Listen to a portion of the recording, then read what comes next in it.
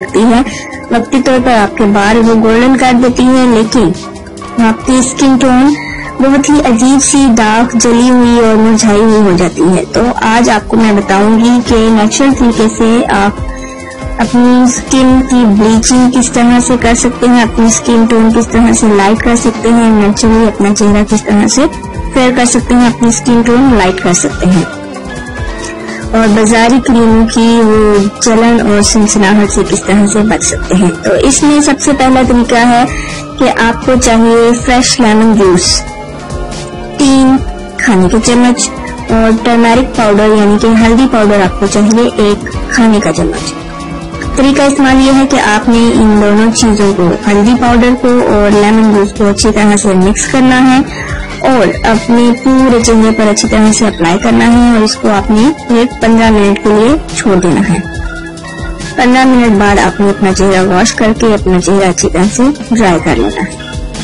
तो नेचुरल तरीके से ब्लीच करने का दूसरा तरीका फ्रेंड्स ये है कि आपने लेनी है एक खाने के चम्मच दही योगर्ट और उसमें आपको चाहिए होगा आधा चाय का चम्मच हाफ़ टी स्पून एक खाने का चम्मच दही था और इसमें आपने आधा चाय का चम्मच लेमन जूस में डालना है।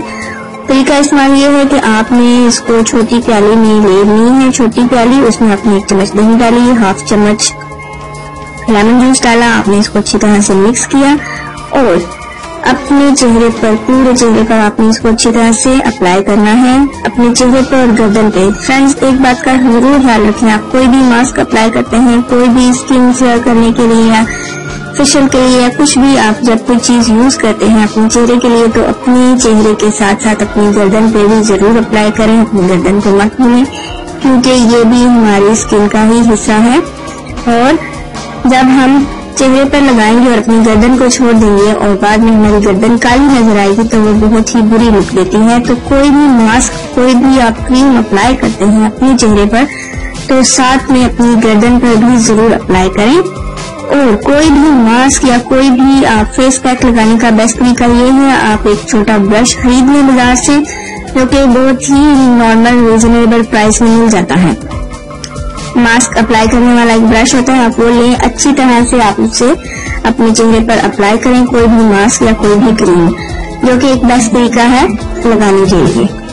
तो आपने ये मास्क अपने चेहरे पर लगाया योगर्ट और लेमन का, दही और लेमन का, और आपने इसको छोड़ देना है पंद्रह मिनट के लिए अपने चेहरे पर 10 से 15 मिनट। 10 से 15 मिनट के लिए आपने छोड़ देना है, इसके बाद आपने अपना चेहरा धो लेना है नॉर्मल वाटर से ठंडे पानी से अपना चेहरा धो लें और ड्राई कर लें।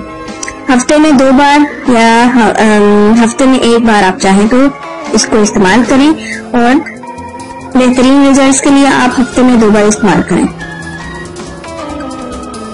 अलावा एक और तरीका है फ्रेंड्स नेचुरल तरीके से ब्लीच करने का अपने फेस को। तो इस तरीके के लिए आपको जिन चीज़ों की ज़रूरत होगी, उसमें आपको चाहिए टमाटो पल्प्स यानी कि टमाटर का गूदा, दो खाने के चम्मच। उसमें आपको चाहिए बेकिंग सोडा आधा चाय का चम्मच और हनी चाहिए, शहद चाहिए आपको एक चाय का चम्मच।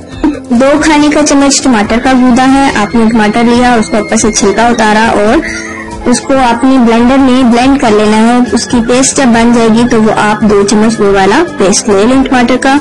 उसका गुदा ले लें जो उसकी पल्प होगी। और उसमें आपने डालना है हाफ़ चाय का चम्मच, आधा चाय का चम्मच बेकिंग सोडा और एक चाय का चम्मच शहद। इसको आपने अच्छी तरह से मिक्स कर लेना है और अपने चेहरे पर अच्छी तरह से इसको लगा देना है। और इसको आपने पाँच मिनट के लिए अपने चेहरे पर लगा रहने देना है। और पाँच मिनट लगा रहने से पहले आपने एक काम करना है कि जब आपने अपने चेहरे पर ये लगा लिया तो आपने हल्के हाथ से इसको रब करना है, हल्के हाथ से इसको जैसे मसाज करते हैं। हल्के हाथ से मसाज करने के बाद आपने इसको अपने चेहरे पर पाँच मिनट के लिए छोड़ देना है और पाँच मिनट बाद आप अपने फेस को नॉर्मल वाटर से वॉश कर सकते हैं। इसको ड्राई कर लें और अपनी स्किन टोन इवन कर लें। तो ये आज आपको मैंने जितने भी तीन तरीके बताए हैं नेचुरल तरीके से अपनी स्किन टोन इवन करने का ब्लीच करने का तो ये तरीका आप इनमें से कोई भी तरीका आजमाएँ और हफ़्ते में दो दफ़ा इसको ज़रूर इस्तेमाल करें। इससे आपकी स्किन टोन इवन हो जाएगी, आपकी स्किन नेचुरल तरीके से ब्लीच हो जाएगी और आपका चेहरा ग्लो करने लगेगा और शाइन करने लगेगा। सो so फ्रेंड्स ये थी हमारी आज की बहुत ही आसान और सस्ती सी टिप मैं उम्मीद करती हूँ आपको पसंद आई होगी और आपके लिए ज़रूर मददगार साबित होगी। अगर आप मजीद वीडियोस देखना चाहते हैं, मजीद कुछ जानना चाहते हैं तो नीचे दिए गए रेड बटन को सब्सक्राइब वाले बटन को क्लिक करना मत भूलें। मेरी वीडियोस को लाइक और शेयर करना मत भूलें। मुझे अप्रिशिएट करते रहें। अपनी दुआ में याद रखें। अपने फ्रेंड्स के साथ शेयर करें। इतनी मेहनत से वीडियो बनाई है। एक लाइक तो बनता है ना। और दूसरा ये कि आप हमें इतनी बड़ी दुनिया में दोबारा कैसे ढूंढेंगे? तो इसका हल ये है कि आप हमारे चैनल को सब्सक्राइब कर लीजिए और इस बेल के आइकन को क्लिक कर दीजिए। इस तरह हमारे आने वाली तमाम वीडियोस आप तक पहुँच